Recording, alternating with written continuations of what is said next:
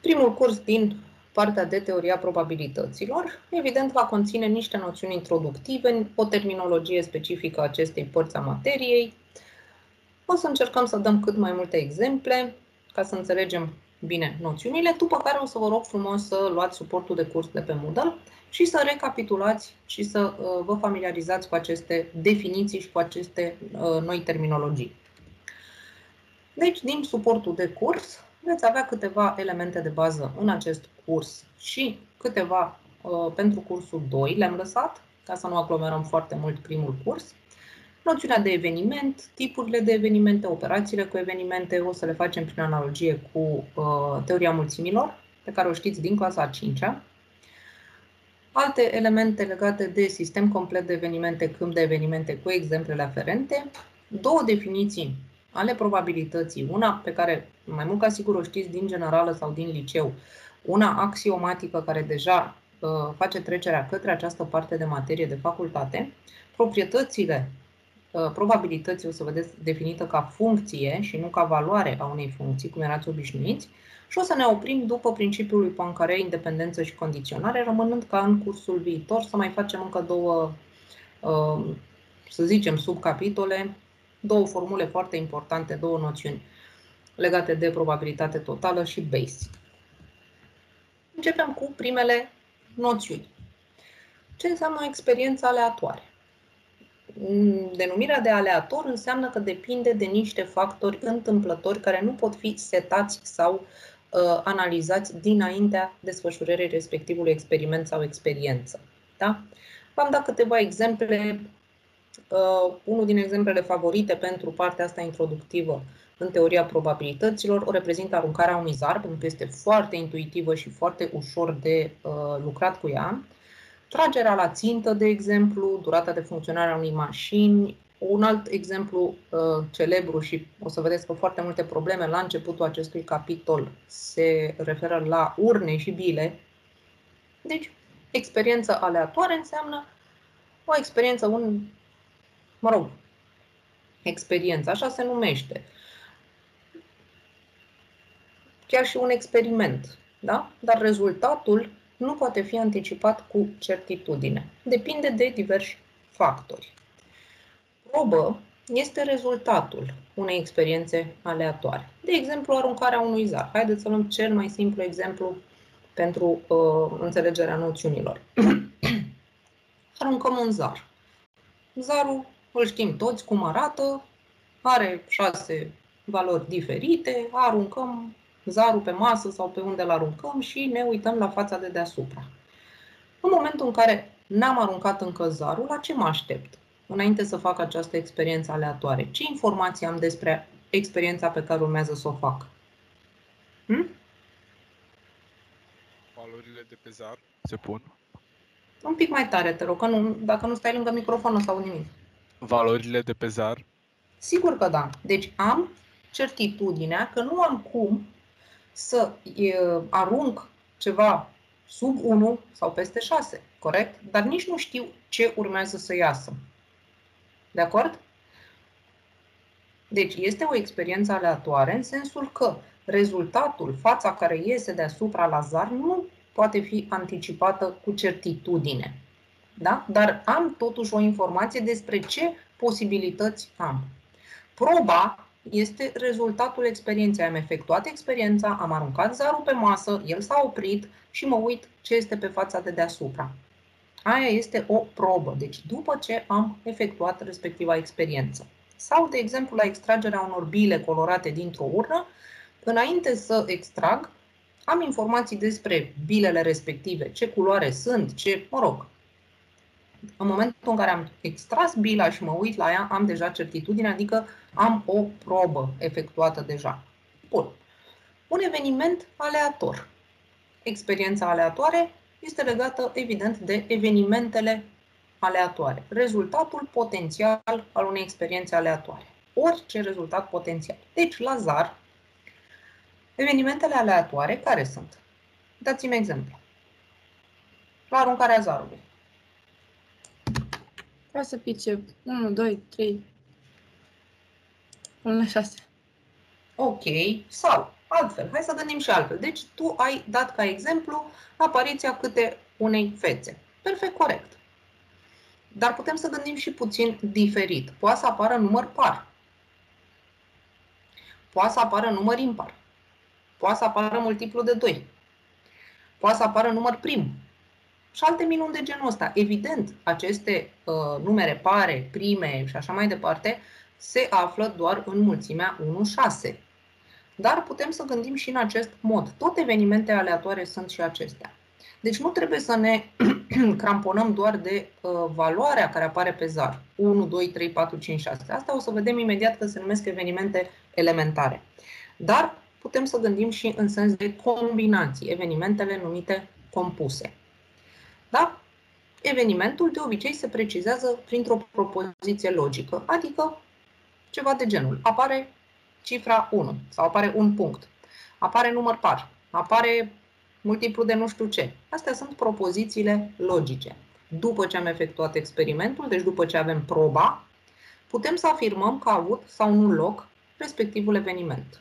Deci, dacă eu îmi stabilesc evenimentul de interes, uh, număr par, arunc zarul și iese fața cu 3, o să afirm că, în urma probei, evenimentul nu a avut loc. Evenimentul pe care eu îl studiez.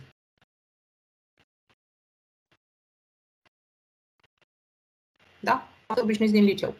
Mulțimea de cazuri sau de rezultate care realizează un anumit eveniment. Haideți să luăm din nou exemplu zarului. Bun. Haideți să stabilim și un eveniment pe care îl vreți voi. Dați-mi un eveniment legat de zar. Mai mic ca 3. Mai mic ca 3. Bun. Deci evenimentul dorit de tine este, apare ceva mai mic ca 3. Bun. Arunc zarul. Și iese sau nu iese ceva mai mic ca 3, evident. Deci am două variante. Ori iese, ori nu iese mai mic ca 3.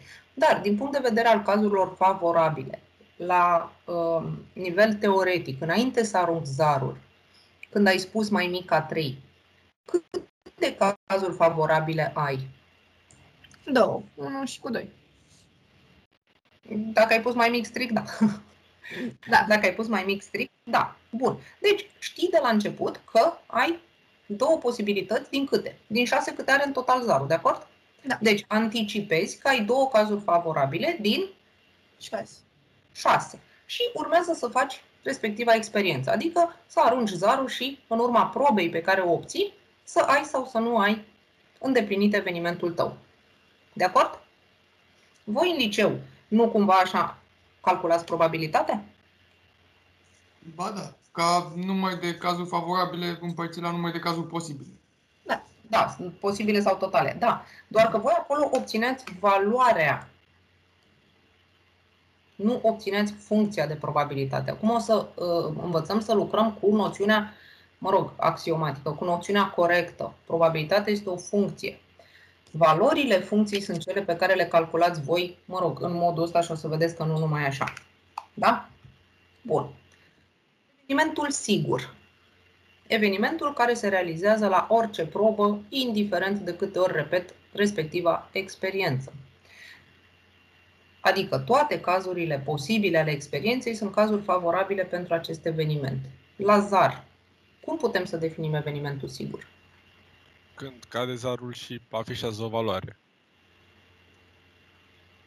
E puțin cam ambigu, deci trebuie să fim un pic mai concreți. Evenimentul Să apară valori naturale?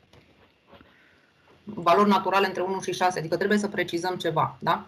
Nu putem să zicem doar valori naturale, pentru că natural e și 7, și 8, și 11 și așa mai departe. Deci trebuie, când vorbim despre evenimente în cadrul uh, teoriei probabilităților, trebuie să fim foarte preciși. Da? Să definim corect evenimentul cu care lucrăm sau care ne interesează, pe care îl studiem. Da? Deci trebuie enunțat cumva. Deci, evenimentul sigur la zar poate fi enunțat ceva de genul număr natural între 1 și 6. Deci nu-i de ajuns să zicem că o să pice doar o cifră, trebuie să zicem că o să pice o cifră de la 1 până la 6. Exact. Da, deci trebuie să fim foarte exacti în momentul în care definim un eveniment, ca să nu lăsăm uh, loc de interpretări eronate. Da? Deci noi suntem cei care ne definim evenimentul de interes, Noi suntem cei care trebuie să fim foarte exacti. Deci evenimentul sigur la ZAR, așa se definește. Da? Deci, indiferent ce rezultat al experienței aleatoare am, deci indiferent de proba pe care o obțin, dacă vreau să am eveniment sigur, trebuie să-l definesc perfect corect. Da? E cât de cât ok ca noțiune? Ce am făcut până acum? Da. da. Mi se pare cea mai intuitivă și cea mai bună modalitate de a începe să discutăm despre aceste noțiuni. Ok. Evenimentul imposibil. Dacă am un eveniment sigur, trebuie să am și reversul medalii. Evenimentul care nu se poate realiza în nicio efectuare a experienței. Deci nu are niciun caz favorabil, indiferent ce și cum. Din punct de vedere al uh, teoriei mulțimii, se asoci, a teoriei mulțimilor se asociază cu mulțimea vidă sau cazuri favorabile, mulțimea cazurilor favorabile este vidă. Lazar. Dați-mi exemple de evenimente imposibile, că aici putem să definim o grămadă. Când va afișa uh, valori negative? Ok. Sau un număr peste 6, mai mare ca Corect. 6. Corect. reale 1,1. Un pic mai tare că n-am auzit, te rog. 1,1? da, numere care nu sunt naturale și așa mai departe, da. Deci, indiferent cât ne jucăm cu acel zar, sunt anumite uh, valori, să le zicem, care fac parte din evenimentele imposibile. Oricât m-aș juca cu zarul, nu va ieși așa ceva. Bun. Evenimente, tipurile de evenimente, în funcție de numărul de cazuri favorabile pe care le putem avea. Se împart în evenimente elementare și evenimente compuse. Zarul, din nou, este minunat pentru a înțelege aceste noțiuni. Evenimentele care se realizează la o probă și numai una, adică au un singur caz favorabil. Se numesc evenimente elementare. La zar este foarte simplu. Dacă vă imaginați că le notați așa sub formă de mulțime, aveți 1, 2, 3, 4, 5, 6. Cele 6 evenimente sunt elementare. Da?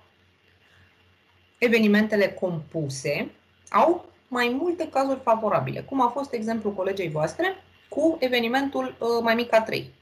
Da?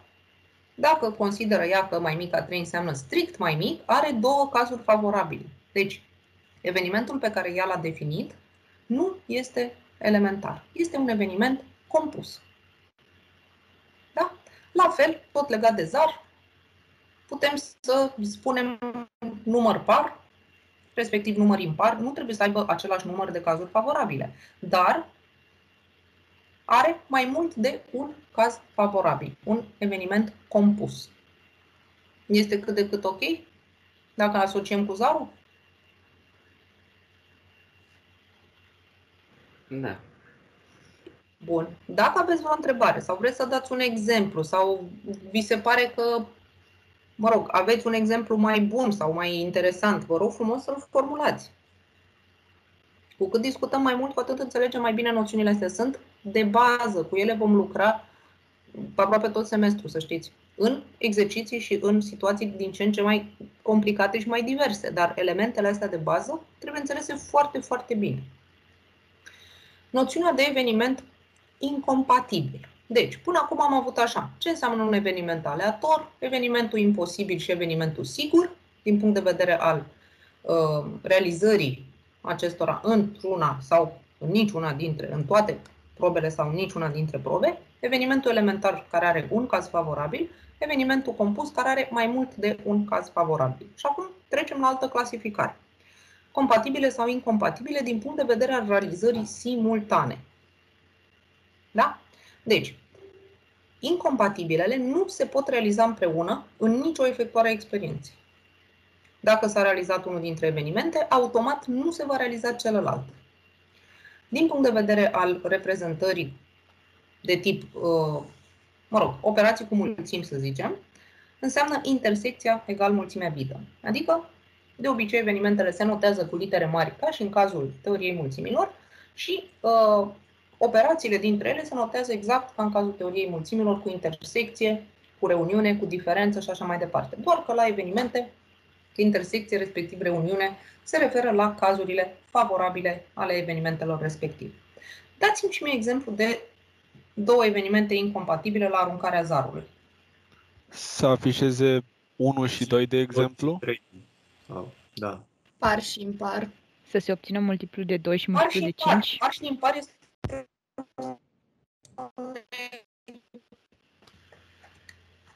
Ziceți.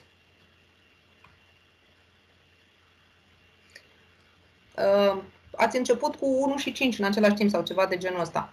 Da, dar sunt Da. evenimente Unul pe simultan. definite puțin forțat, pentru că în această experiență aleatoare de aruncare a unui zar este imposibil să am două fețe în același timp sus. Deci, teoretic, să zic că merge dat ca exemplu, din punct de vedere practic nu este chiar ok. În fața unui zar e una singură deasupra. Nu stă el pe muchie, nu știu cum să vă spun. Ideea cu Uh, M-am gândit că este mult. Zi, te rog. M-am gândit că, de exemplu, s-ar putea, am putea spune, nu știu, să obținem multiplu de 2 și de 3. În același timp. Da. Păi pot, că e șasele multiplu și de 2 și de 3. Da, de-aia am zis de 2 și 5. Că asta Da, foarte bine. Foarte bine. Deci, uh, haideți să reținem ideea cu pare și impare că este cea mai uh, ușoară, ca să zic așa, cea mai evidentă la evenimentele incompatibile. Nu pot să obțin la aruncarea zarului și par și impar în același timp. În regulă? Deci, nu am cum să obțin în același timp și par și impar. Ok. Evenimente incompatibile. Din punct de vedere al teoriei mulțimilor, asta înseamnă că intersecția din punct de vedere al uh, cazurilor favorabile este mulțimea vidă. Deci, evenimentul A nu are niciun caz favorabil cu evenimentul B. E foarte important, o să vedeți pe parcursul cursului de astăzi, să stabilim, în funcție de evenimentele cu care lucrăm, ce se întâmplă cu intersecția lor, adică cu cazurile favorabile comune. Asta este problema pe care noi trebuie să o identificăm în fiecare exercițiu, problemă pe care o vom rezolva. Ce se întâmplă cu evenimentele mele, de ce fel sunt, să le identific și pe baza identificării corecte să pot să spun ce se întâmplă cu intersecția. Și evenimentele compatibile, evident, au cel puțin un caz favorabil comun. Pot avea cel puțin un caz favorabil comun. Da? Deci, în limbaj de teoria mulțimilor, intersecția este nevidă. Da? Dați-mi exemplu tot la zar, de două evenimente compatibile. Par și multiplu de 3 este 6. Ce anume? Par și multiplu auzit prima. de 3. Par și multiplu de 2? De 3. De 3. Da. Par și multiplu de 3. Da, avem. E 6 Deci au un caz favorabil comun. Ne încadrăm în categoria cel puțin un caz favorabil comun. Da? Pe măsură ce o să mai facem și probleme, în special în cursul viitor, o să tot lucrăm cu aceste noțiuni și de fiecare dată va trebui să stabilim ce fel de evenimente avem, ce putem spune despre intersecție. Da? Și evident ce am spus și mai devreme, convenția spune ca evenimentele să fie notate cu litere mari, exact ca în teoria mulțimilor. E, acum, o noțiune pe care nu știu cât o mai stăpâniți voi din liceu, noțiunea de părți ale unei mulțimi. Adică mulțimea tuturor submulțimilor ei. De fapt, de ce se leagă de uh, părți? În mod normal, dacă am o experiență cu număr finit de cazuri posibile, de exemplu, zarul, am șase cazuri posibile mari și late. Uh, extragerea unor bile dintr-o urnă. N-am o infinitate de bile în urna aia, am și eu acolo un număr finit și așa mai departe. O să vedeți că sunt și experiențe cu număr infinit de cazuri posibile, o să vedeți, dar pe parcursul materiei. Această uh, familie a părților înseamnă toate submulțimile, adică toate evenimentele pe care le pot defini, atât elementare cât și compuse din mulțimea mea. Da? Lazar, e foarte, foarte simplu să scriem mulțimea, omega, 1, 2, 3, 4, 5, 6, și apoi să luăm submulțimile. Submulțimea, prima pe care v-aș ruga să o luați în considerare este mulțimea vidă, care este submulțime a oricărei mulțimi date. Deci mulțimea vidă, adică evenimentul imposibil. Și să ne-l definim cum vrem noi. Apoi, luăm submulțimile de câte un element. Submulțimea elementului 1, submulțimea elementului 2 și așa mai departe. Acestea sunt evenimentele elementare. După care putem să luăm câte două. Evenimentul iese 1 sau 2, adică submulțimea 1, 2. Submulțimea 1, 3, submulțimea 1, 4, apoi 2 cu 3, 2 cu 4 și așa mai departe. Deci, în momentul în care listăm toate submulțimile mulțimii omega, adică mulțimea numerelor naturale de la 1 la 6, obțineți această uh, familie a părților. Mai știe cineva din liceu câte submulțimi conține pe ăsta? 2 la numărul de elemente. Da. 2 la numărul de elemente. Și mai știți și de ce? Cumva? E suma de combinări și Da. știu că de acolo rest. Da, corect. Pentru că în teoria probabilităților o să mai folosim noțiunea de combinare și de aranjament în ideea, mă rog, grupării unor elemente în submulțimi. La combinări nu se ține cont și de ordinea prezenței elementelor în submulțime, la aranjamente se ține cont și de ordinea respectivă în interiorul submulțimii. Deci, când vorbim despre combinări, submulțimea 1-2 este una și aceeași cu submulțimea 2-1. La aranjamente nu. Ok. O să vedeți imediat de ce am nevoie să recunoaștem sau, mă rog, să ne reamintim ce înseamnă mulțimea părților unei mulțimi date. Deci mulțimea tuturor submulțimilor. Când vorbim despre evenimente, este vorba de toate evenimentele și elementare și compuse care pot fi definite pe mulțimea dată.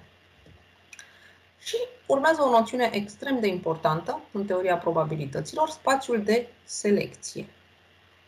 Spațiul de selecție în liceu îl defineați ca fiind uh, mulțimea tuturor cazurilor sau mulțimea cazurilor posibile.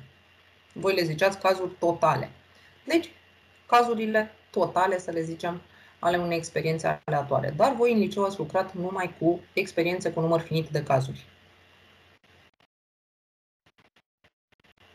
Deci, spațiul de selecție asta înseamnă. Dar se face asocierea cu mulțimi. Omega de acum încolo va fi considerată mulțimea căreia îi atașez o experiență aleatoare, mulțimea din punct de vedere matematic, obiectul matematic numit mulțime, astfel încât fiecare submulțimea lui omega să-i poată corespunde o situație reală în experiența dată. Aia înseamnă spațiu de selecție. La ZAR este extrem de simplu, pentru că omega, absolut natural, îl definiți ca fiind mulțimea numerelor naturale între 1 și 6. Deci, imediat puteți să scrieți omega egal cu 1, 2, 3, 4, 5, 6. Da? Și automat, toate submulțimile acestei mulțimi reprezintă, evident, evenimente. Da? Deci, submulțimile sunt evenimente, elementele lui omega, adică luate câte unul separat, sunt evenimentele elementare, întreaga mulțime este evenimentul sigur, absolut normal, și mulțimea vidă este evenimentul imposibil. Deci, asocierea la nivel logic între o mulțime matematică și experiența mea mă face să am aceste asocieri perfect definite. Submulțimile sunt evenimente, elementele sunt evenimentele elementare, mulțimea întreagă e evenimentul sigur și mulțimea vidă evenimentul imposibil. Deci, încă o dată, chestia cu zarul este foarte, foarte intuitivă și cred că vă face să înțelegeți minunea asta. Da? Aveți vreo întrebare sau vreo neclaritate sau vreți să dați alt exemplu?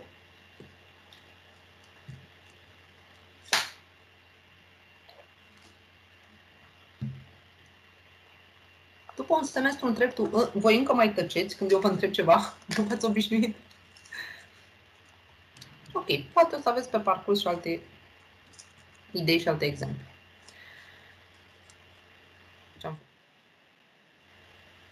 Experiența unui zar, ce am discutat până acum, să aveți cât de cât trecut și înscris. Un exemplu de eveniment elementar, evenimentul sigur definit, exact așa se definește evenimentul. Se pun ghilimele, eventual se pune și o literă mare în fața evenimentului, adică A mare egal cu ghilimele, apariția unui număr nu știu cum, B mare, apariția unui număr, deci se notează de obicei cu litere mari. Așa o să vă rog să faceți uh, și când rezolvați temele și mai ales când dați examen. Da? Ok. Haideți să trecem la o chestie un pic mai ciudată. O să vă rog să vă uitați cu foarte mare atenție la această definiție de sigma algebră în uh, suportul de curs pe care o să-l aveți pe Moodle. Ce este de fapt o sigma algebră? Este elementul fundamental ca să pot defini câmp de evenimente și ulterior câmpul de probabilitate. Este de fapt o submulțime sau o familie de mulțimi din părțile mulțimii omega. Omega este spațiul de selecție. Da? Este obiectul cu care vom lucra de aici încolo tot semestru. Deci omega este spațiul meu de selecție. Ca această sigma algebră sau se mai numește și sigma câmp, sigma corp, depinde unde vă uitați în ce carte, în ce curs, este o sumulțime a părților. Da? Deci, practic, ea ce conține? Tot evenimente ale lui omega.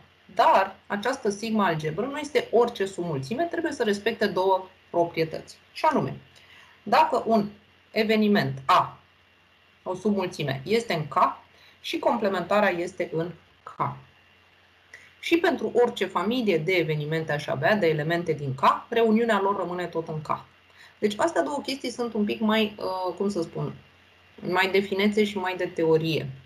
Pe exemple concrete o să mai discutăm dacă obiectul cu care lucrăm este sigma algebră sau nu. De ce este foarte important? Pentru că câmpul de evenimente pe care voi defini funcția de probabilitate este formată din această asociere dintre spațiul de selecție omega și sigma algebră tot pe omega. Deci aceste două proprietăți, un eveniment este în K, automat și complementarul său este în K și, respectiv, reuniunea este tot acolo. Asta trebuie să rețineți în linii mari despre numita sigma algebră. Da? Acum, hai să ne întoarcem la ZAR. Dați-mi exemplu de un eveniment și spuneți-mi și complementarul său. Ca să descurcăm un pic ce am scris aici.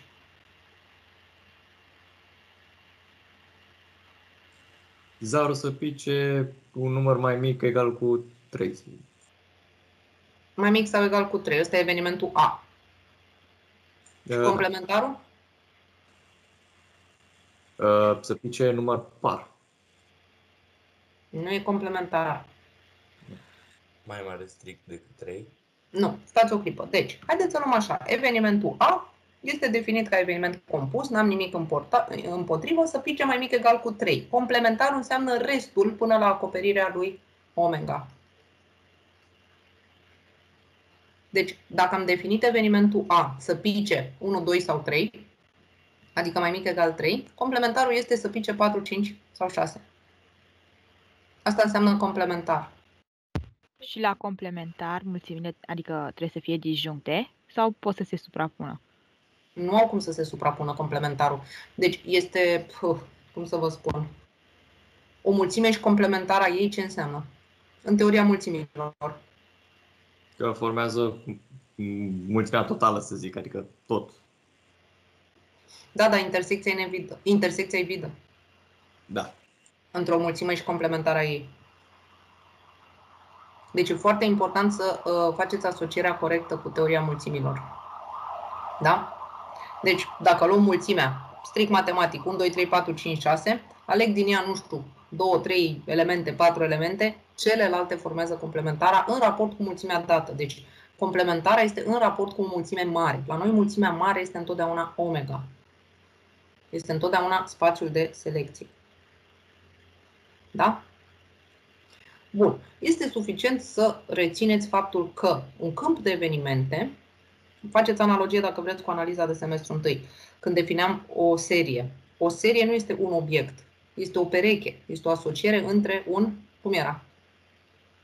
Un șir și șirul sumelor Sum. parțiale. Da?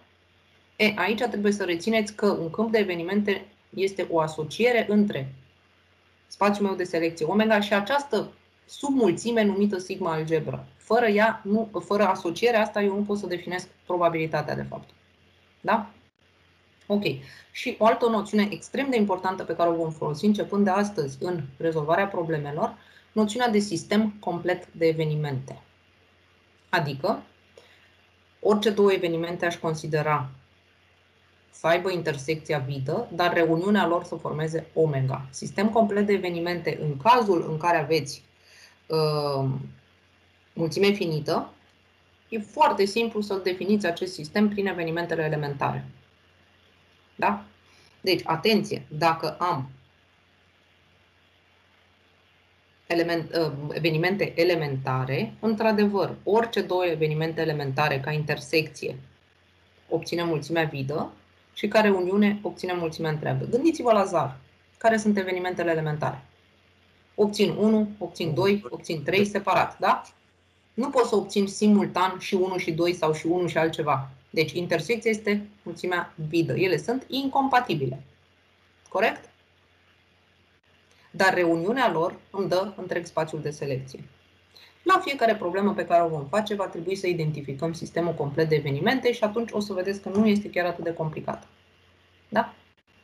Deci avem două noțiuni mai speciale, să le zic, noțiunea de sigma algebră și sistemul complet de evenimente, dar o să lucrăm cu acest sistem complet de evenimente tot timpul și o să vă fie foarte, foarte ușor să-l puneți în evidență. O să vedeți.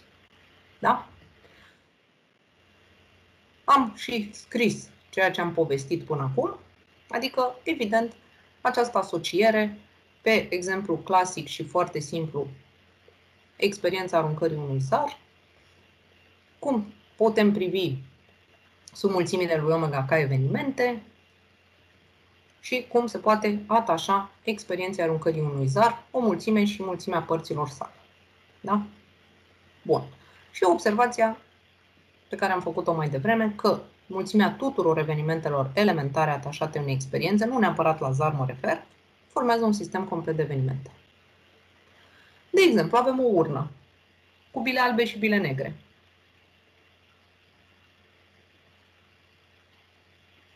Cum definesc un sistem complet de evenimente pe așa ceva? Ca să mai trecem de la zar. Hm? Iau bila albă sau iau bila neagră? Sau nu iau niciuna? Păi de luat trebuie să iau, că trebuie să fac o experiență. Deci, dacă am doar bile albe și bile negre, din punct de vedere al culorilor, culoarea albă și culoarea neagră formează, cumva, sistemul complet de evenimente. Adică nu pot să scot altceva decât ori albă, ori neagră. Nu e chiar așa, dar ca să vă formați cât de cât o intuiție. Da? De acord? Teoretic ar trebui să iau câte evenimente elementare am. Păi câte bile albe am. Câte evenimente elementare am pentru negre. Păi câte bile negre am. Da? Și sistemul complet de evenimente se referă de fapt la faptul că eu nu pot să scot și albă și neagră în același timp, că scot una singură, deci intersecția este mulțimea vidă, corect? Și reuniunea ne dă spațiul de selecție. Da? O să vedem pe probleme concrete că o să fie un pic mai ușor pentru voi. Operațiile cu evenimente, o să vedeți și în cursul, în suportul de curs, uh, se asociază în mod absolut natural cu operațiile cu mulțimi. Ce înseamnă reuniune la mulțimi?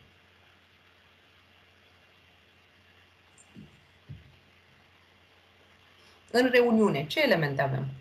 Uh, avem, de exemplu, dacă avem două mulțimi, reuniunea reprezintă toate elementele, dar luate numai o singură dată. Corect. Deci elementele din A sau din B sau chiar din intersecție, dar luate o singură dată. Corect? Foarte bine. E, din punct de vedere al evenimentelor, citim când scriem A reunit cu B, producerea evenimentului A sau producerea evenimentului B. Intersecția. Cum arată la mulțimi? Elementele comune. Iau doar ce e în comun. Elementele comune. Bun. Ce înseamnă la evenimente? Că intersectez. A intersecta cu B. Că iau în considerare doar evenimentele care se întâmplă în amândouă cazuri. Adică se produce și evenimentul A și evenimentul B. Adică am caz favorabil comun și lui A și lui B. Da. Bun. Haideți să luăm un exemplu. Cu urnă. Am trecut de la uh, zar la urnă. Hai să încercăm să definim pe baza noțiunilor pe care le știm de la teoria mulțimilor, să scriem niște evenimente.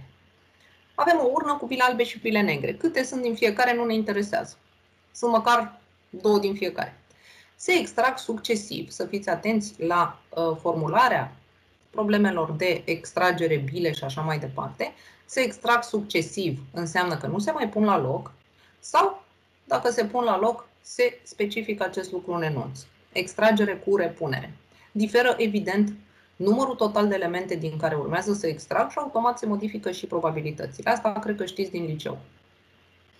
Deci, am o urnă cu bile albe și negre, cel puțin două albe și două negre, și extrag succesiv, fără să pun bila la loc.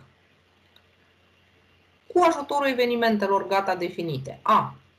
Prima bilă, albă extra, prima bilă extrasă este albă și B. A doua bilă extrasă este albă. Să scriem alte evenimente. Deci, astea două sunt evenimente fixate, deja definite, cu ajutorul lor să scriem alte evenimente. Bun. Deci, atenție că ne interesează în acest exemplu și culoarea și ordinea. Pentru că în definirea evenimentului A și B s-a precizat clar prima și respectiv a doua. Da? Haideți să vedem cum îl scriem pe lui A și B, nu altfel.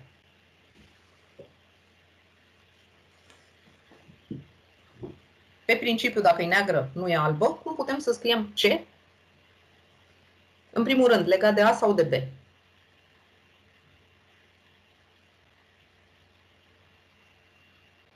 Legat de A. Legat de A, că n-am treabă cu a doua extragere. Ok, deci cum îl scriu pe C? În funcție de A. A, cum, A negat? Da, A, exact, non-A, adică complementar, exact ce discutam. Dacă am albe și negre, albele sunt complementarele negrelor sau pe dos, corect? Deci, așa se scrie din punct de vedere al evenimentului. C este non-A sau A negat sau A complementar, cum vreți voi să-i spuneți. De obicei se numește complementar din punct de vedere al teoriei mulțimilor și se numește eveniment contrar când vorbim despre evenimente. Deci, evenimentul C este evenimentul contrar lui A și așa se reprezintă matematic această legătură.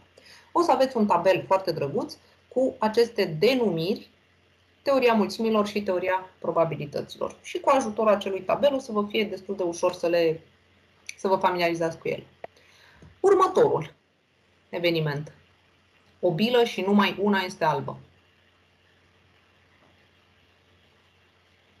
A și non-B sau B și non-A? Foarte frumos scris și foarte frumos zis. Da. Dar haideți să gândim. Cum facem o schemă ca să ajungem la acest rezultat. O bilă și numai una, într-adevăr, este un eveniment compus. Și avem posibilitatea să avem prima albă, a doua neagră, dar la fel de bine putem să avem prima neagră și a doua albă. Asta înseamnă o bilă și numai una. Eu aș face în felul următor. 1 și 2 roman este uh, extragerea, prima și respectiv a doua. Și înseamnă intersecție sau înseamnă reuniune. Deci, în schema asta am gândit în felul următor. Care sunt situațiile favorabile pentru evenimentul D? Pe prima linie, A și N, adică la prima extragere albă și la a doua neagră. E ok până aici? Scris în cuvinte. Mai pot să am un caz favorabil. Neagră la prima extragere și albă la a doua. Acest și se scrie ca intersecție. Am ambele variante bune, ambele îmi realizează evenimentul D, deci le reunesc. Și uitați așa, am ajuns la ce a spus colega voastră direct. A și non-B, adică albă și neagră, reunit cu, adică sau, neagră și albă. Deci, ce am scris în cuvinte, am trecut în cuantificatori. E cineva care n-a înțeles bucățica asta?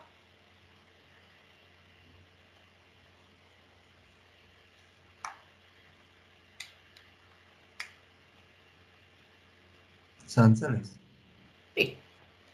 O să aveți de multe ori nevoie să faceți scheme de acest gen în rezolvarea problemelor. Deci nu mă supăr, chiar îmi place foarte mult să văd că le gândiți simplu și elementar și scrieți variante. Ambele bile sunt negre. Non-A și non-B. Non-A și non-B. Adică și înseamnă intersecție din punct de vedere al scrierii cu eveniment. Corect. Cel puțin o bilă este albă. A reunit cu B. În primul rând, câte cazuri favorabile aș avea? În funcție de extrageri. Hai să ne gândim așa. Trei cazuri. Trei. Trei, corect. Care sunt? Hai. Nici Păi- una albă, una albă și două albe. Uh, cel puțin una este albă, nu cred că merge niciuna albă. Prima albă, a doua albă sau ambele albe. Ok, exact. Și astea, dacă le scriem iarăși sub formă de tabel, nu avem cum să greșim când le trecem din nou în cuantificatori. Deci pot să am prima albă, a doua neagră, prima neagră, a doua albă sau ambele albe.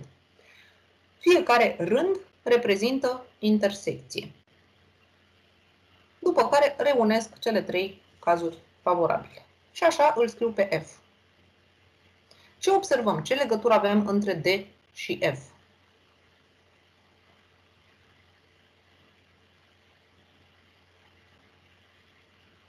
Prima parte este, uh, de fapt, D-ul se află în F. La Ok. început. D-ul se află în F. Din punct de vedere al evenimentelor, cum putem să formulăm chestia asta? Orice caz favorabil al lui D este și caz favorabil al lui F. E corect?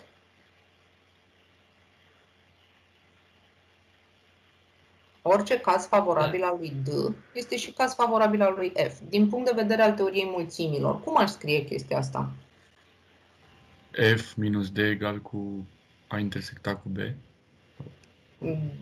Da, dar vrem să ne gândim la altă D inclus în F. Da. D inclus în F. Din punct de vedere al mulțimilor, D este o submulțime a lui F. E corect? Da. Vă plăcea mai mult analiza de semestru întâi, serios?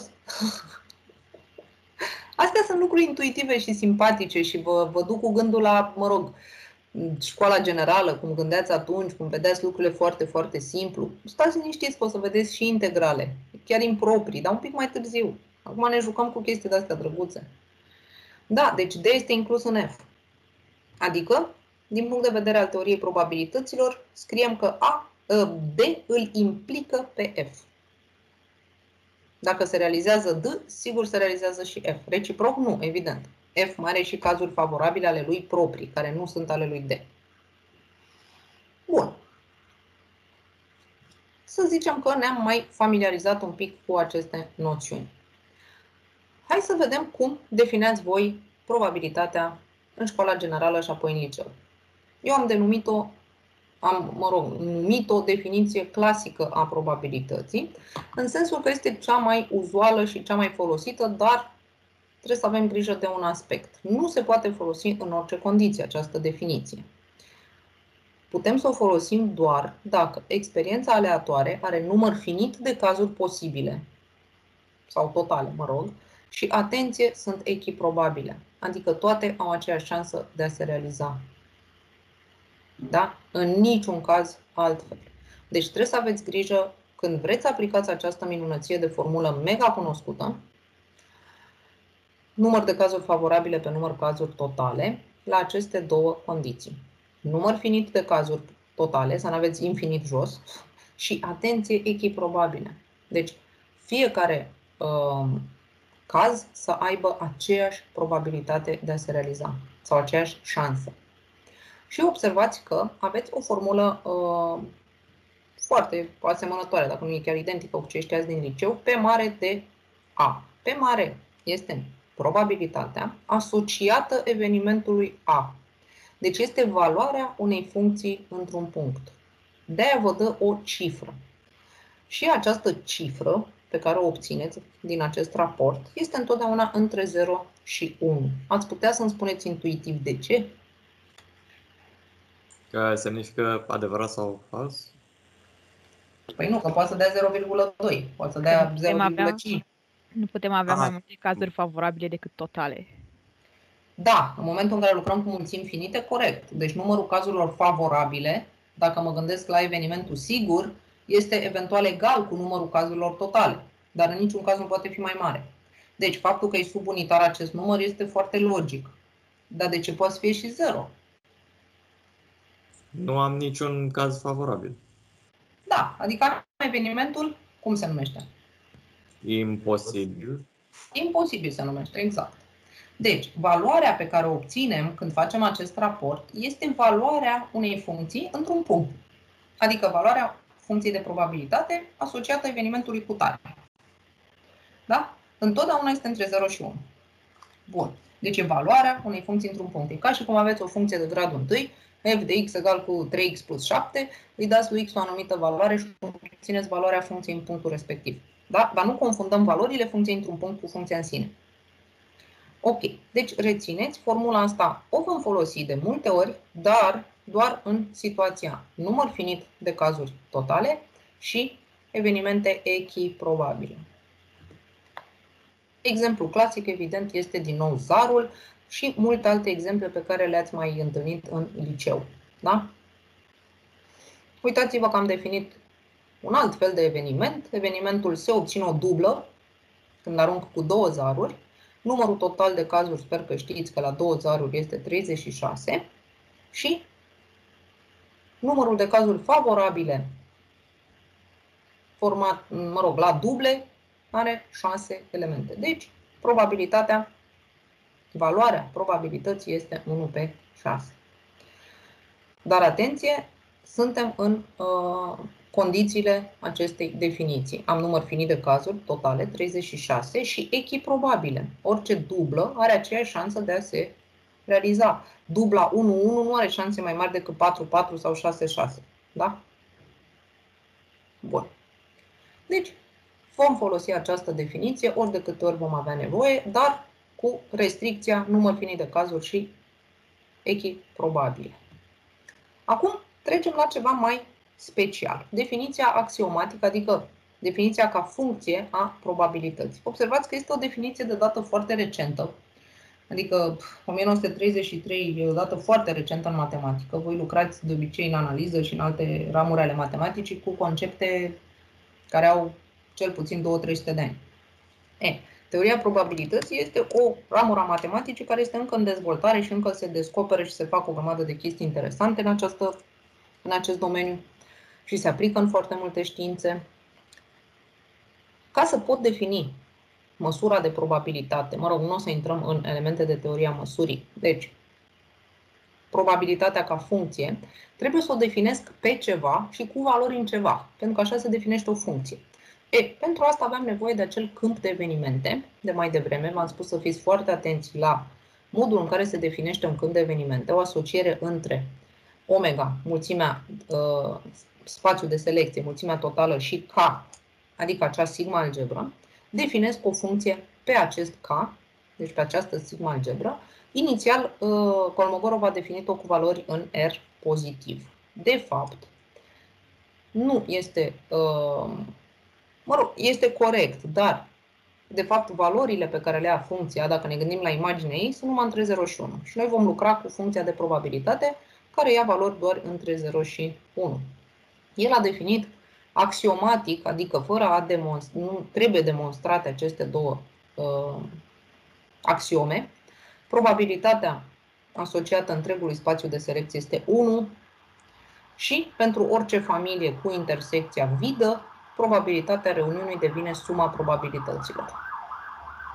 Un lucru extrem, extrem de important și o să vedeți cât de folositor. Dar atenție, doar în, în cazul în care evenimentele mele au cazuri favorabile,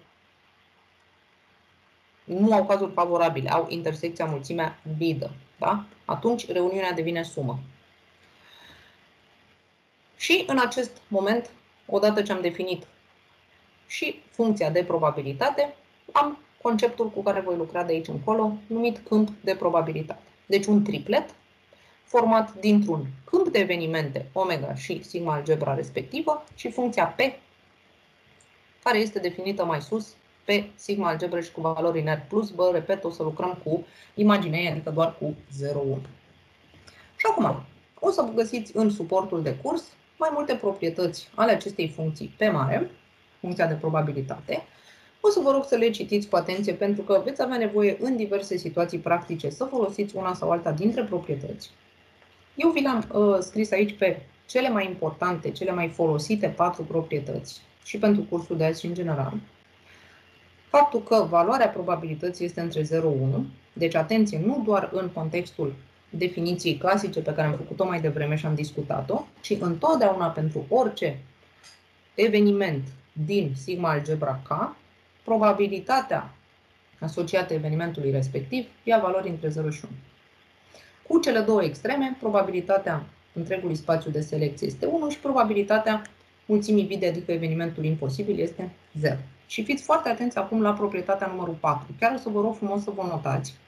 O să lucrăm cu ea și astăzi și, mă rog, mai departe nu mai zic, dar în special pentru astăzi. Notați-vă, vă rog, cele două forme ale proprietății 4. Deci, dacă evenimentul A și evenimentul B sunt incompatibile, adică intersecția mulțimea vidă, probabilitatea reuniunii este suma probabilităților. Este o scriere mai simplificată a axiomei 2. Adică, în loc să scriu semnul de reuniune, am scris cu două evenimente.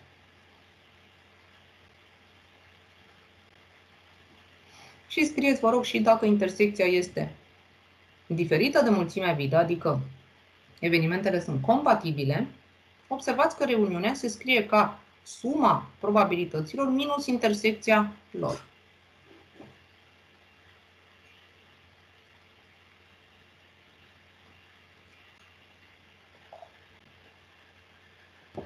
Mă scuzați, mai puteți defini, vă rog, odată cine este capa?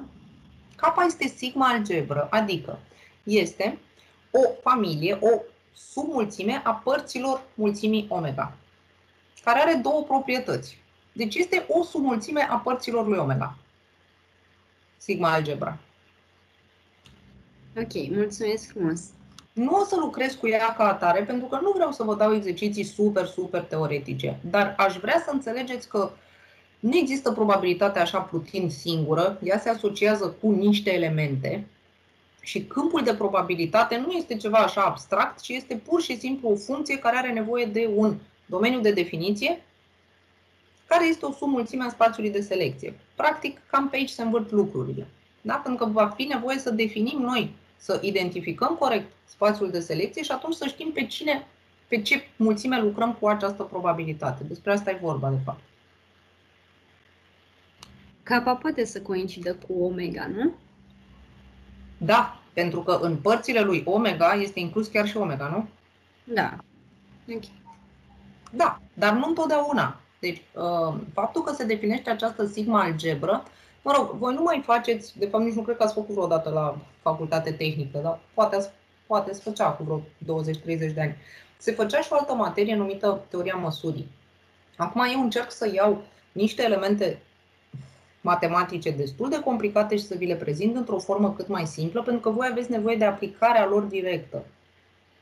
Da? Deci uitați-vă chiar și în definiția axiomatică. Am scris acolo în paranteză este o măsură de probabilitate, dar voi nu știți ce e o măsură. Și atunci încercăm să evităm niște, mă rog, niște chestii foarte complicate. Da? Și totuși să nu le negăm complet. Adică încercăm să facem o trecere de asta cât de cât ok între partea pur aplicativă și partea teoretică. Da?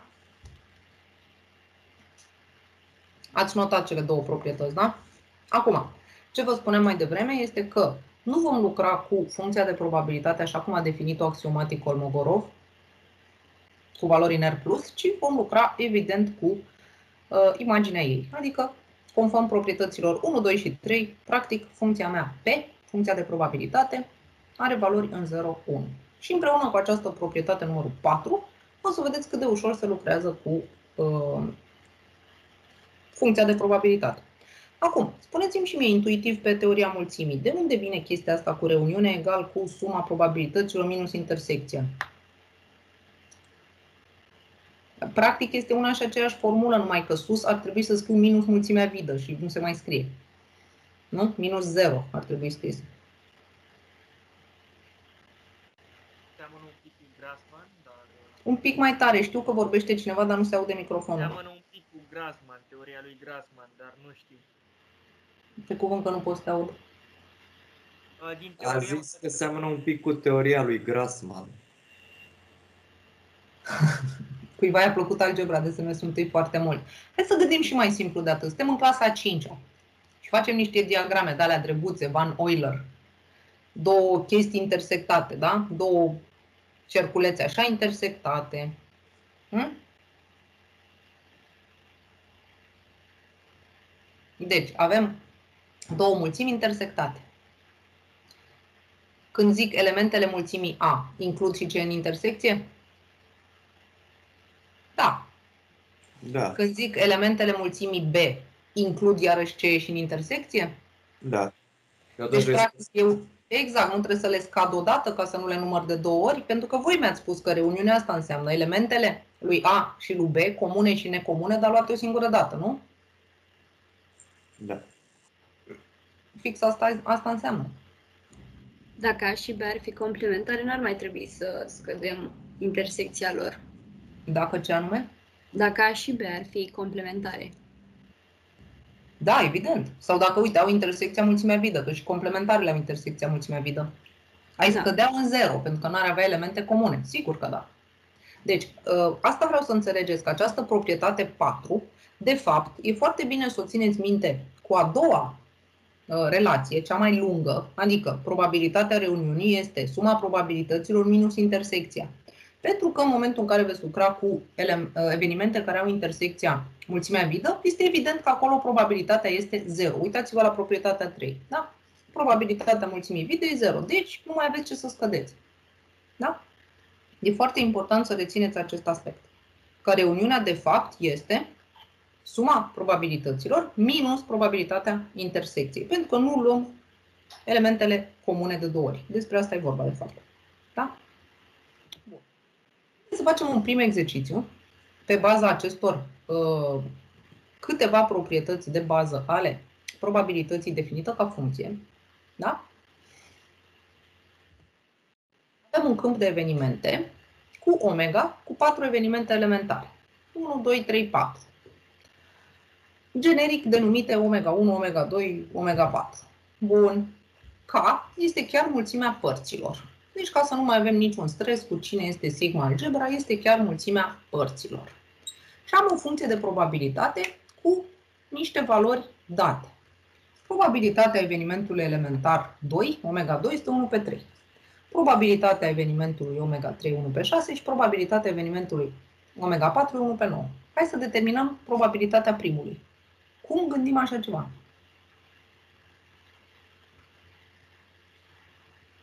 Ce proprietate de bază fundamentală a probabilității folosim în acest caz? Suma tuturor probabilităților e egală cu 1. Suma tuturor probabilităților evenimentelor elementare Elementare, da. este 1. Da. Cu alte cuvinte, tu ai folosit faptul că probabilitatea lui omega este 1. Deci uitați-vă aici. Proprietatea 2. Probabilitatea întregului spațiu de selecție este 1. Dacă omega este format din evenimente elementare, înseamnă că suma probabilităților evenimentelor elementare tot 1 trebuie să dea. Dar fiți atenți că ele nu sunt echiprobabile. Voi vedeți? Deci sunt patru evenimente elementare, dar nu sunt echiprobabile, adică nu e vorba de un fel de zar. E altceva. Sunt niște evenimente elementare, ok, dar au probabilități diferite. Observați? Deci, faptul că sunt elementare nu trebuie confundat cu faptul că sunt echiprobabile. Nu e același lucru. Eveniment elementar înseamnă că are un singur caz favorabil. Atât. Nu înseamnă că sunt și echiprobabili. Deci, asta am vrut să vă arăt cu acest exemplu. Atât faptul că probabilitatea totală întotdeauna este 1 și în plus, chiar dacă aveți evenimente elementare, nu înseamnă că sunt și echiprobabile. Da? Deci, simplu și frumos se obține probabilitatea evenimentului omega 1. Scrieți faptul că P de omega este 1. Ce înseamnă P de omega? Suma celor patru probabilități. Puteți să o scrieți așa cu sumă, puteți să o scrieți pur și simplu P de omega 1 plus P de omega 2 plus nu știu ce. Și evident că P de omega 1, cel care este necunoscut, se obține ca 1 minus suma celor date. Și am terminat povestea. La punctul B este o, uh, un enunț un pic mai ciudat. De ce? Pentru că nu se folosește, în general, în teoria probabilităților, scrierea cu virgulă. Este o scriere uh, specifică domeniului științelor inginerești. De foarte multe ori în aplicațiile din anii voștri mai mari, o să vedeți scrieri de genul ăsta. Nu o să înțelegeți ce, Doamne iartă, mai e. Virgula o folosesc inginerii în loc de reuniune. De ce? Să nu mă întrebați. De ce nu, se, nu, nu, nu scriu reuniune? Pur și simplu. Deci, pe același câmp de evenimente, adică am același omega, k este mulțimea părților, considerăm o altă funcție de probabilitate. Am terminat cu punctul A. O altă funcție care are următoarele proprietăți. Cum se citește? P de omega 2 reunit cu omega 3, adică reuniune înseamnă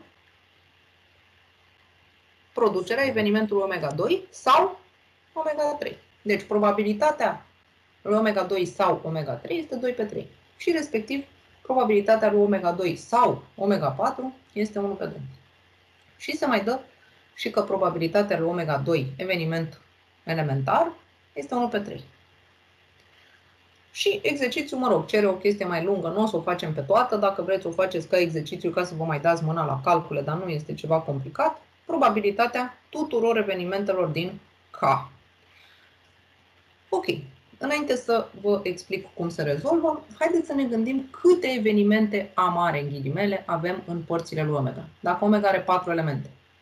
16, cumva. E 2 la a 4, da? Deci Da. 16, adică sunt multe. E, odată ce reușim să uh, determinăm evenimentele elementare folosind chestiile astea cu reuniuni, restul o să fie simplu, e un calcul elementar, puteți să vi le faceți voi așa de distracție. Deci, am vrut să înțelegeți în primul rând că scrierea cu virgulă în inginerie înseamnă de fapt reuniune. Dacă am scris reuniune omega 2 cu omega 3, mă duc la ce am notat pe foaie, că nu mai dau slide-ul anterior, ce înseamnă reuniune. Proprietatea numărul 4. Și de ce am folosit doar suma și n-am folosit și minus intersecția? Deoarece intersecția este mulțimea vidă, De ce? Sunt evenimente elementare și Corect. Asta este justificarea. Da. Evenimentele elementare sunt întotdeauna incompatibile. Uitați cum începem să folosim noțiunile teoretice de la începutul cursului. Da? Deci, evenimentele elementare întotdeauna sunt incompatibile, pentru că ele au un singur caz favorabil. Nu pot avea cazuri favorabile comune. Da? Deci, am scris în loc de virgulă reuniune și am folosit probabilitatea reuniunii ca suma probabilităților, ceea ce este super ok. Și mi s-a dat în enunț că este 2 pe 3. P de omega 2 mi s-a dat este 1 pe 3 și am aflat cu ocazia asta și P de omega 3. Deci în momentul de față știu probabilitățile a două din cele patru evenimente elementare. Trec mai departe. Folosesc a doua relație dată, reuniunea omega 2 cu omega 4. Din nou, din aceleași considerente, nu folosesc și intersecția pentru că sunt evenimente elementare și de aici scot și probabilitatea evenimentului omega 4. În acest moment am 3 din cele 4. Pot să aflu imediat și probabilitatea lui omega 1, scăzând suma acestor probabilități P de omega 2, P de omega 3 și P de omega 4 din 1. Cu ocazia asta l-am aflat și pe P de omega 1. Și mai departe să încep să fac uh, omega 1 cu omega 2, omega 1 cu omega 3 și mai știu eu ce, înseamnă pur și simplu calcul elementar. Știu deja probabilitățile evenimentelor uh, elementare. Înseamnă doar să folosesc această formulă de reuniune câte 2, câte 3 și câte așa. Nu avea sens să pierdem timpul cu chestia asta, dar puteți să lucrați în continuare, nu este niciun fel de problemă. Cum ați face P de omega 1 reunit cu omega 2?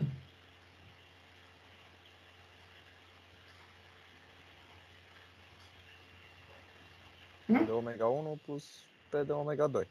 Da, și 2 și adună fracții. Deci asta vă așteaptă. Sau P de omega 1 reunit cu omega 3 reunit cu omega 4. Ce o să fie? Toate trei sumat. Da, adunate câte 3 și așa mai departe. Deci ăsta e motivul pentru care nu am mai continuat calculul, că nu avea sens. Da? Hmm. A, stați așa că am modificat anunțul, nu știu ce vorbesc aici tâmpenii.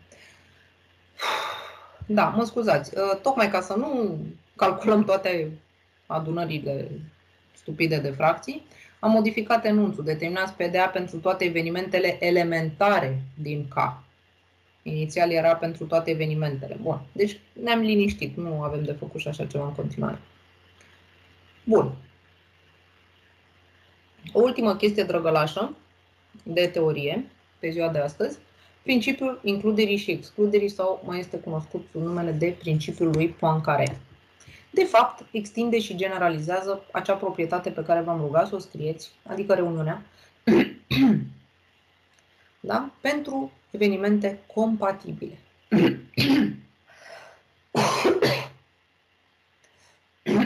Scuze.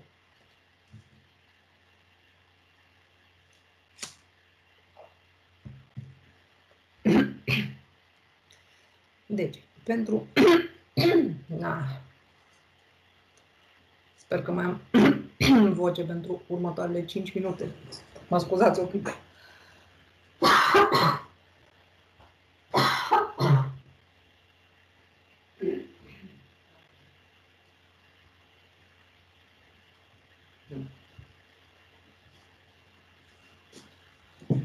Da, să sperăm. Deci, tot nu mă lasă. Uh, generalizăm, de fapt, reuniunea la mai mult de două evenimente cu intersecție nevidă. Nu vă speriați. Arată groaznic, dar luăm un exemplu cu trei evenimente, înțelegem ce se întâmplă și foarte rar vom avea nevoie să generalizăm la mai mult de trei. Ce vrea să zică minunea asta, de fapt? Așa urât cum e scrisă cu sumă. În momentul în care am reuniunea mai multor evenimente compatibile, o să am, conform proprietății numărul 4, suma probabilităților minus intersecțiile de câte 2, apoi plus intersecțiile de câte 3, minus intersecțiile de către 4 și așa mai departe până ajung la intersecția tuturor evenimentelor prezente. Care este logica? Logica e foarte simplă dacă ne facem o diagramă de tip Van Euler, adică pur și simplu să reprezentăm evenimentele ca și cum ar fi mulțimi și să judecăm ce înseamnă intersecție și reuniune în toată povestea asta. Da? Le-am făcut cu culori diferite, special ca să ne fie mai ușor să le înțelegem. Reuniune, din punct de vedere al mulțimilor, înseamnă elemente comune și necomune luate o singură dată. În momentul în care avem intersecția a trei mulțimi, haideți să vedem ce se întâmplă. Când luăm elementele lui A, automat includem și ce are A comun cu B și ce are comun cu C. Și dacă observați acolo în mijloc se face un fel de triunghi cu laturile curbe, vedeți? Intersecția tuturor celor trei. Și acolo sunt niște elemente pe care noi le luăm în calcul de mai multe ori. Da? Dacă am înțeles fundamental că trebuie să scădem intersecțiile de către două, eu practic voi scădea acel, uh, acele elemente din intersecția tuturor celor trei mulțimi de mai multe ori decât îmi trebuie. Deci, haideți să o luăm așa. În PDA, de câte ori intră elementele din triunghiulețul ăla? Intră o dată. În PDB mai intră o dată. În PDC mai intră o dată. Deci de câte ori am intrat? Cele din intersecția tuturor celor trei. Înțelegeți la ce mă refer? Hm? Da. Da. Aici. Voi vedeți mouse-ul meu? Da, da, da. Aici. Deci, pe astea le-am luat de trei ori în calcul când am scris PDA, PDB și PDC. Le-am luat de trei ori în calcul aici? Da. Bun. Acum, când scad, PD a intersectat cu B. Scad odată chestia asta. Deci am scăzut odată triunghiulețul. Aici îl mai scad odată. Și aici îl mai scad odată. Deci știți ce am făcut în momentul ăsta? Am pierdut elementele de aici. Și automat, uitați-vă că trebuie să le și adun odată. Deci, în PDA intră triunghiul, în PDB mai intră o dată, în PDC mai intră o dată. A intrat de trei ori. Când scad, scad de trei ori. Și am rămas cu lipsă elementele de aici. Ăsta e motivul pentru care le adun o singură dată. N-am vrut să fac uh, un desen și mai complicat cu patru intersecții pentru că nu are sens. Dacă ați înțeles minunea asta, pur și simplu, pe teoria mulțimii, este extraordinar de bine. Da? Deci, la reuniunea de două știm că scădem intersecția, la reuniunea de trei aveți grijă la acest principiu al includerii și excluderii. scădeți intersecțiile, trebuie să mai și adunați bucățicile comune. Da? E cineva care n-a înțeles minunea cu triunghiul ăsta din mijloc? Triunghi, mă rog. Așa zis triunghi? Hm? Vedeți că o să-l folosim, acest principiu. Ok. Noțiunea de evenimente independente. Este o confuzie enormă între eveniment, uh, evenimente independente și evenimente incompatibile. Vă rog frumos, de la începutul acestei materii, să înțelegeți clar că sunt lucruri complet diferite. Independente înseamnă că pot avea cazuri favorabile comune, dar nu se influențează unul pe celălalt. Da? Afară poate să fie soare și eu totuși să alunec și să-mi rup piciorul sau, uh, nu știu, afară poate să plouă și eu să pierd autobuzul și mai știu eu ce. Pot avea cazuri favorabile comune, dar nu se influențează unul pe celălalt. Da? Cel mai bun exemplu cred că este în domeniul sportiv, dacă nu luăm în calcul factorul psihologic. Performanța unui sportiv poate să fie la fel de bună cu performanța altuia, poate să ia aceeași notă sau să ia același punctaj, dar nu se influențează unul pe celălalt. Da? Deci, în sport, dacă nu intervine factorul psihologic, unul mai bun sau un campion evoluează înainte altuia și îl termină psihic pe următorul, atunci sunt independente. Incompatibile înseamnă nu au cazuri favorabile comune, indiferent de ce probă fac și de câte ori repet experiența. Da? Deci realizarea unuia nu depinde de realizarea celuilalt. Asta înseamnă noțiunea de independență. Bun. Din punct de vedere al intersecției, probabilitatea intersecției se scrie produsul probabilităților. Deci, diferit de mulțimea vidă nu înseamnă doar diferit. Uitați-vă la evenimente independente, înseamnă produsul probabilităților. Și bineînțeles că această formulă se și poate generaliza în sensul în care nu am doar două evenimente, ci am mai mult, independente toate între ele. Da? Și înmulțim probabilitățile corespunzătoare. Da? Atenție la un aspect.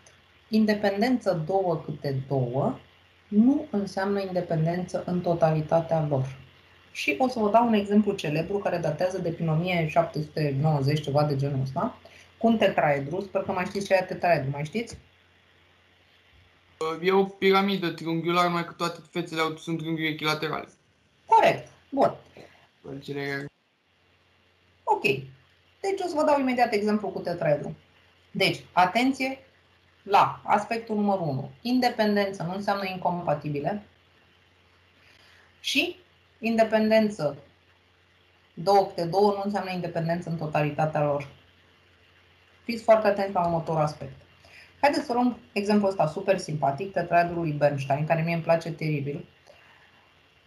Tetraedru. Deci vă imaginați acea piramidă triunghiulară cu fețele triunghiuri echilaterale, e foarte simpatică și imaginați-vă că o și vopsiți. O față în alb, una negru, una în roșu și pe a patra faceți câte o dungă din, toate, din fiecare culoare. Da? Deci aveți o față albă, una neagră, una roșie și o față cu toate cele trei culori prezente. Da? Și imaginați-vă că aruncați tetraedru pe masă ca și cum ați arunca un zar. Și ne interesează fața de pe masă, fața pe care se așează. Probabilitatea culorilor. Deci, până să se dezvolte, mă rog, să se pună fundamentele axiomatice ale teoriei probabilităților, ați văzut că Kolmogorov a definit probabilitatea în mod axiomatic abia în 1933. Minunea asta și lumea se juca cu probabilități și tot încercau să determine tot felul de relații și de șansă și de noroc și de tot felul de minuni din vremuri foarte, foarte îndepărtate. Haideți să ne uităm la aceste traedru, da? Deci, care e chestia cu independente două câte două și independente în totalitatea lor? Vă imaginați cum arată jucarea asta? Cu tetraedru? Da. Bun. Deci ne interesează probabilitatea apariției culorilor și, evident, dacă sunt independente sau nu evenimentele respective. Primul lucru, trebuie să ne notăm evenimentele care ne interesează. Ce ne interesează? Probabilitatea apariției culorilor. Păi hai să le notăm. A1, A2, A3 sau puteam să le notăm A, B, C, nu contează. Apare culoarea cu tare, apare culoarea cu tare, apare bun. Mai departe. Pentru fiecare culoare sunt patru cazuri posibile, care patru fețe tetraedru și două favorabile. De ce două? Pentru că am, de exemplu, pentru alb, o față complet albă, dar am și fața care e pictată în trei culori. Da?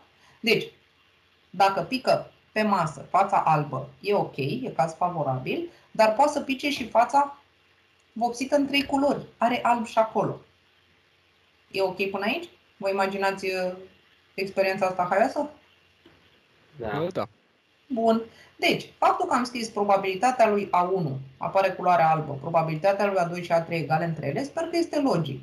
Numărul de cazuri favorabile este 2, supra numărul de cazuri totale 4. Dat 1 pe 2. E ok până aici? Hai să facem intersecțiile a câte două din evenimente. Ce înseamnă A1 intersectat cu A2? Apare și culoarea albă, apare și culoarea neagră. Câte cazuri favorabile sunt?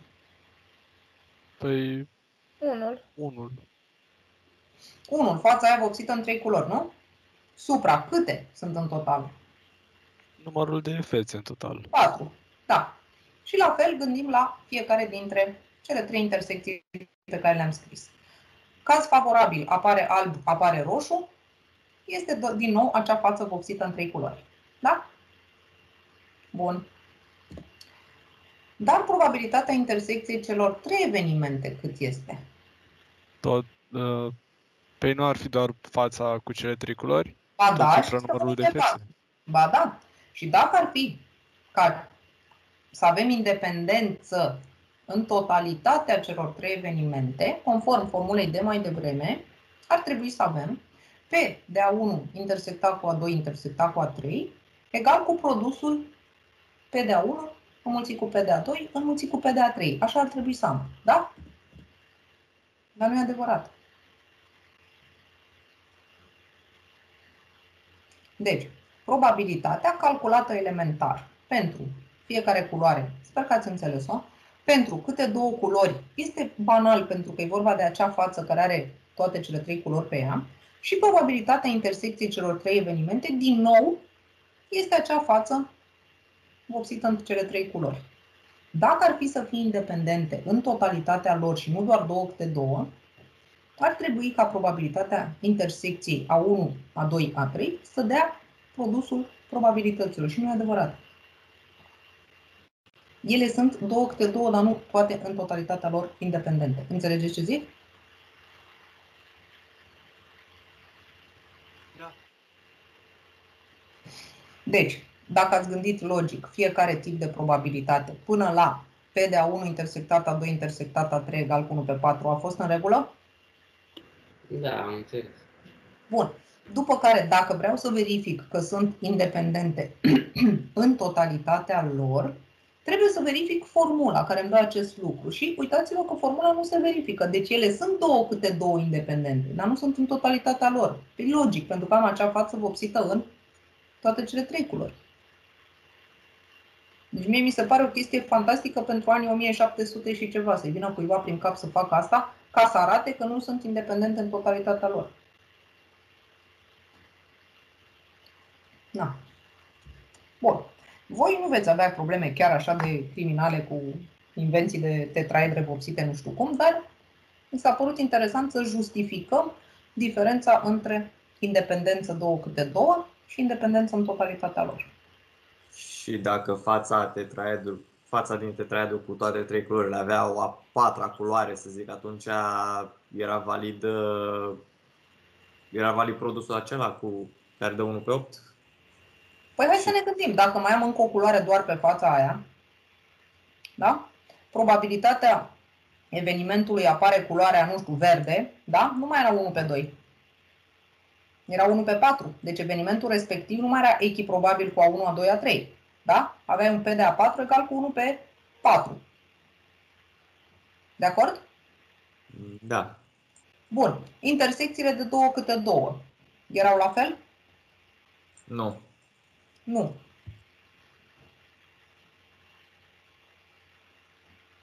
Nu. Deci PDA1 intersectat cu A4 ar fi fost? Ba da, ar fi fost tot 1 pe 4.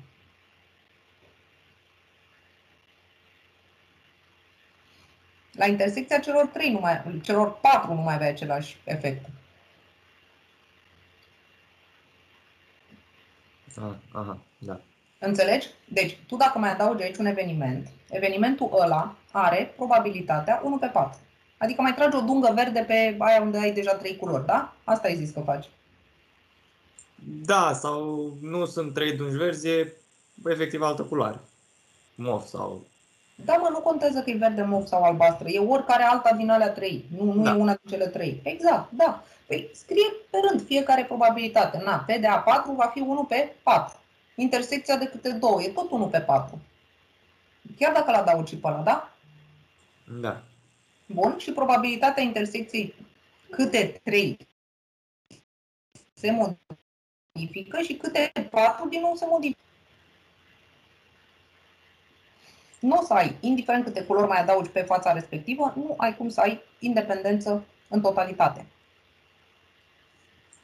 Da. Dacă vrei, nu știu, fă altă figură, nu te traedu. Dar faptul că ai fețe colorate diferit și una care le conține pe toate, duce la acest efect.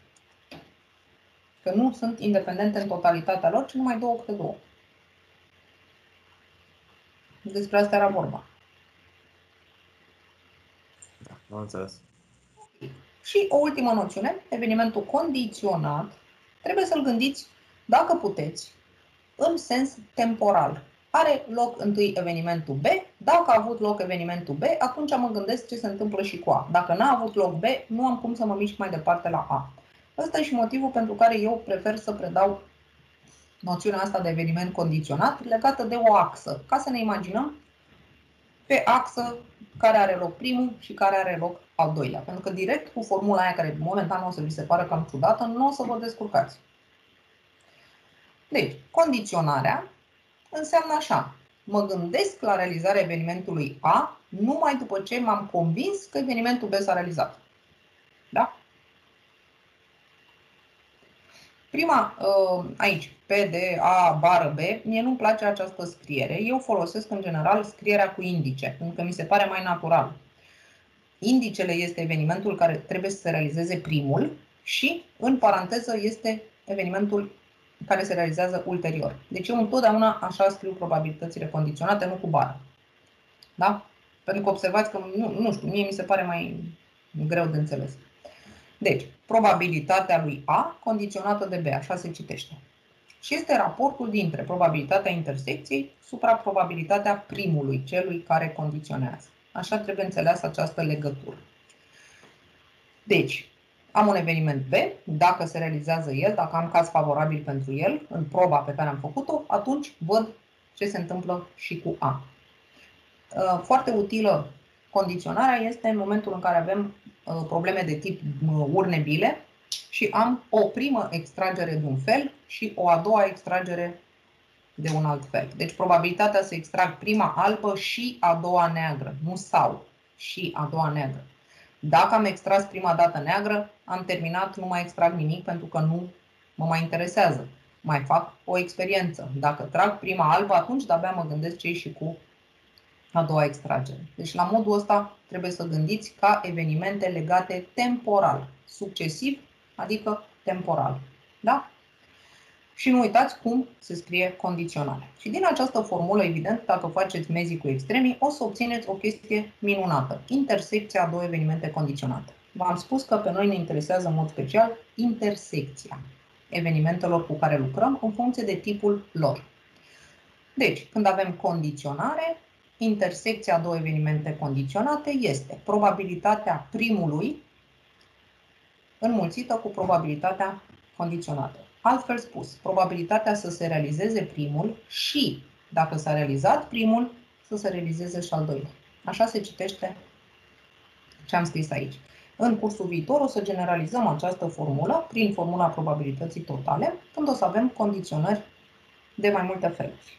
Da? Deci încercăm să înțelegem condiționarea raportându-ne la temporalitate. Întâi are loc evenimentul B și dacă a avut loc B, adică înmulțire, să vedem ce se întâmplă și cu A. Da? Generalizarea, fiți foarte atenți, că se face pornind, evident, de la stânga la dreapta, dacă ne imaginăm pe axă temporală, probabilitatea să se realizeze primul și probabilitatea să se realizeze al doilea știind că s-a realizat primul și probabilitatea să se realizeze al treilea știind că s-au realizat împreună primele două și tot așa. Deci acea intersecție pe care o vedeți pe post de indice înseamnă realizarea simultană a evenimentelor dinaintea celui pe care îl considerăm. Din nou, nu veți lucra cu mai mult de 3. Dar, ca idee, generalizarea merge până la oricâte evenimente condiționate succesiv. Da? Acum, această schemă o să o rețineți, o să vă notați, o să lucrați cu ea în față cel puțin câteva capitole de aici încolo, cât lucrăm cu evenimente și cu funcții de probabilitate pe evenimente. Trebuie să decidem, când avem o problemă concretă în față, ce tipuri de evenimente avem și în funcție de aceasta, cum scriem, cum calculăm intersecția lor. Aveți în prima fază să decideți dacă sunt compatibile sau incompatibile, adică dacă intersecția este mulțimea vidă sau nu, respectiv probabilitatea este nulă sau nenulă și în cazul în care probabilitatea intersecției este nenulă, ce tip de compatibilitate aveți?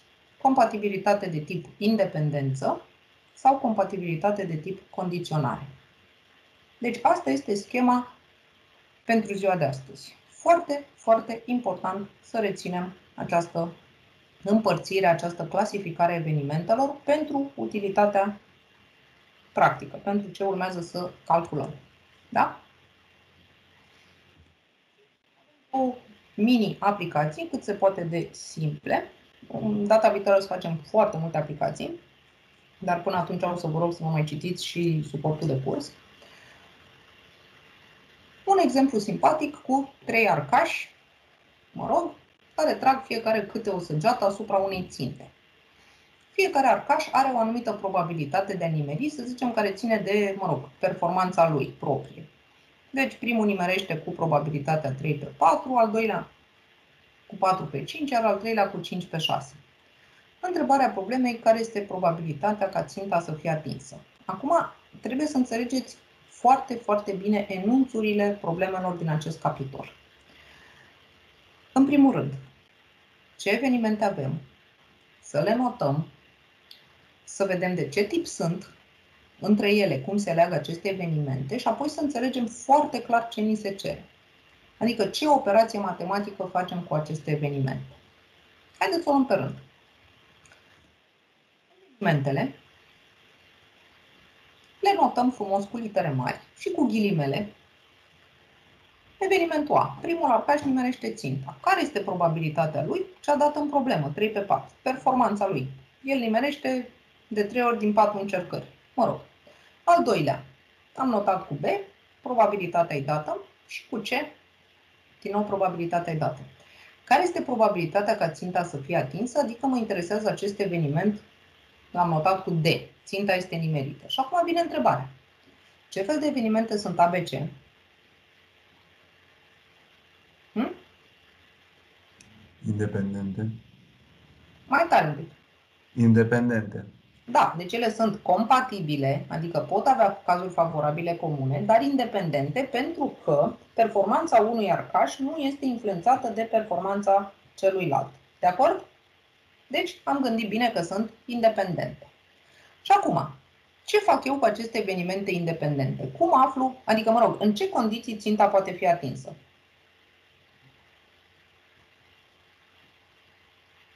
Ce vrea problema asta de la mine?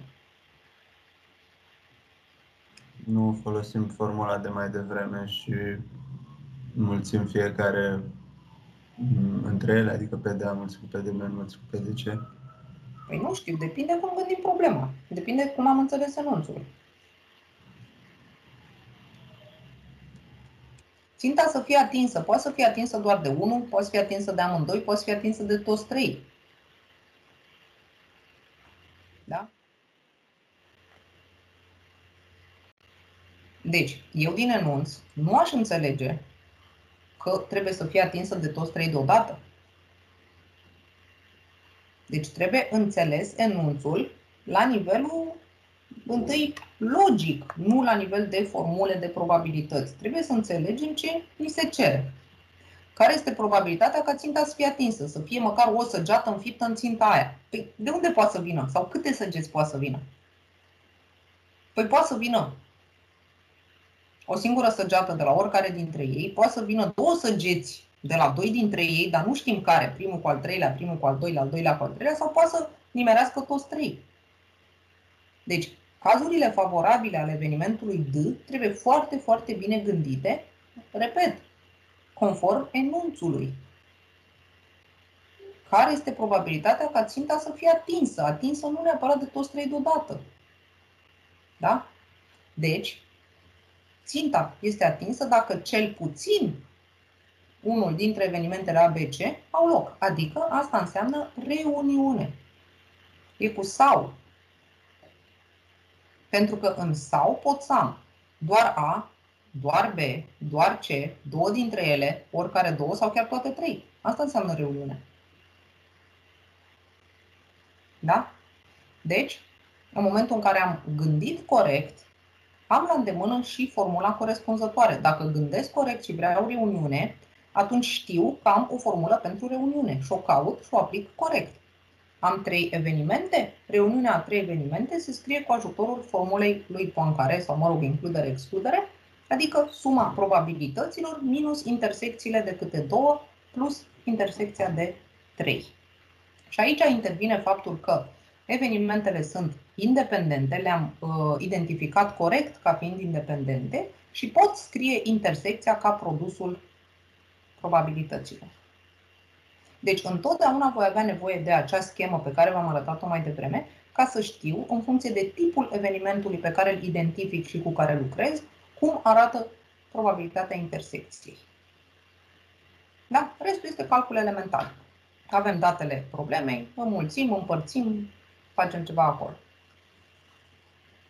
Da?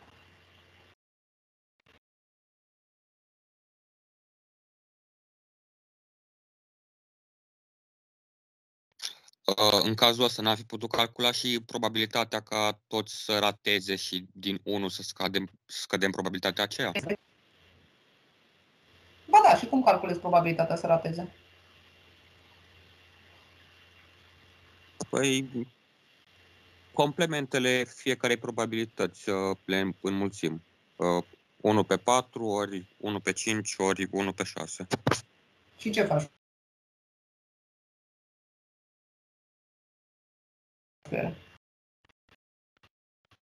Nu ar fi chiar complementul Pentru de că toți deodată.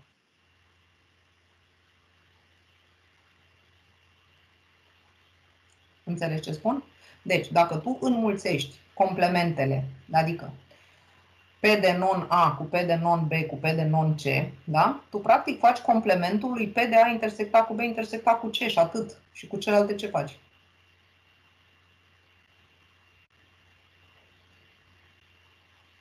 Păi da, adică când toți ratează deodată, că ăsta este singurul caz când ținta nu este atinsă. Corect, și poți să faci 1 minus minunea asta, nu? Da. Da, poți să o gândești și așa, bineînțeles. Dar trebuie explicată cât se poate de corect. Da? Adică oricum trebuia să judeci corect ce vrea problema. Adică în ce caz ținta este atinsă. Adică să judeci corect că probabilitatea lui D este de fapt probabilitatea acestei reuniuni. Și abia după aia să spui, uite, vreau să iau cazul complementar, ținta nu este atinsă de către niciunul, singurul caz, mă rog, pe care îl luai în considerare și apoi să faci 1 minus. Dar oricum ca să faci chestia asta trebuie să te asiguri că ai înțeles corect problema. Că probabilitatea ca ținta să fie atinsă înseamnă de fapt această reuniune sau unul din ei, sau doi dintre ei, sau chiar toți trei. Altfel nu poți să stabilești corect complementarea. Da? Deci, bineînțeles, poți să mergi și pe complementară, dar evenimentul oricum trebuie înțeles și definit corect. Evenimentul D. Da?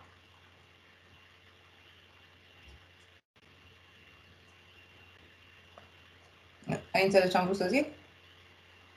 Da, da, am înțeles. Ok. Bun. Ultimul exemplu și v-am lăsat în pace. Avem timp în cursul viitor să facem o grămadă de probleme și să discutăm pe baza lor. Am o urnă cu o structură cunoscută, 6 bile albe, 5 bile negre. Minunat. Se extrag succesiv 3 bile. Succesiv înseamnă fără întoarcerea bilei extrase, nu se pune la loc în urmă. Care este probabilitatea să am o anumită succesiune? Prima albă, a doua neagră, a treia neagră. Care sunt evenimentele pe care le notăm? Uh, ABC, A-ul e extrag bila albă, B-ul extrag bila neagră și C-ul bila neagră. Păi da, dar nu e foarte corect dacă scrie așa, pentru că trebuie să specifici și ordinea. Deci când notezi evenimentele, nu notezi numai culorile, notezi și ordinea, pentru că te interesează și ordinea. Probabilitatea asta este legată și de ordine. Prima albă, a doua neagră, a treia neagră, nu altă combinație. Deci nu e același lucru cu enunțul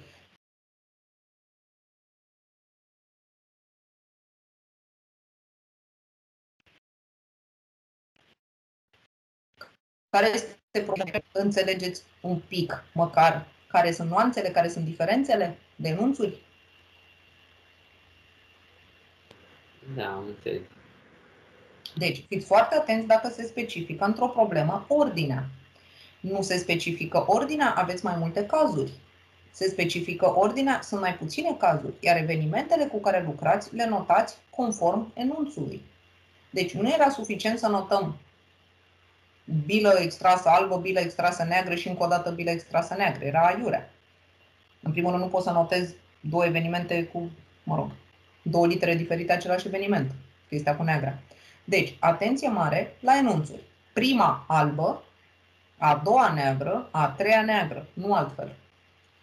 Da? Și acum, ce folosesc mai departe? Uh, Mă leg de faptul că sunt uh, extrageri condiționate, că nu se pune bila înapoi și se schimbă numărul de bile total, implicit Corect. și probabilitățile. Corect. Deci, în primul rând, am identificat, ai identificat corect că sunt condiționate. Prima, a doua, a treia înseamnă condiționare temporală. Da, este prima extragere, a doua extragere, a treia extragere. Sunt condiționate succesiv. Este perfect corect. Deci, dacă sunt condiționate, sunt compatibile condiționate și avem posibilitatea să lucrăm cu ele condiționate succesiv. Adică și prima să fie albă, și a doua să fie neagră, și a treia să fie neagră.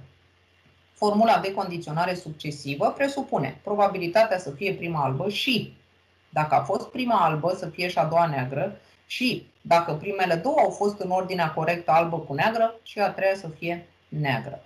Probabilitățile, calculul numeric, este simplu și face apel la faptul că am număr de cazuri favorabile pe număr de cazuri totale, dar evident că nepunând bila la loc, trebuie să țin cont să tot modific aceste valori. 6 pe 11 înseamnă cazuri favorabile albe supra cazuri totale câte erau în urnă. 6 pe 11. Dacă am trecut de prima extragere, înseamnă că am în total 10 bile în urnă și doar 5 sunt albe și 5 negre. Scot o neagră, rămân cu 9 în total, în continuare sunt 5 albe cu 4 negre. Și ăsta e motivul pentru care ultima fracție e 4 pe 9. Și asta este toată problema. Deci este extrem de simplu de rezolvat dacă este gândită corect. Da? O să mai lucrăm și o să mai discutăm o grămadă de exemple în cursul viitor, unde mai avem doar două mici, mici, două relații, două formule de condiționare și base și o să vedeți cum începem să le combinăm și cum începem să le gândim. Da?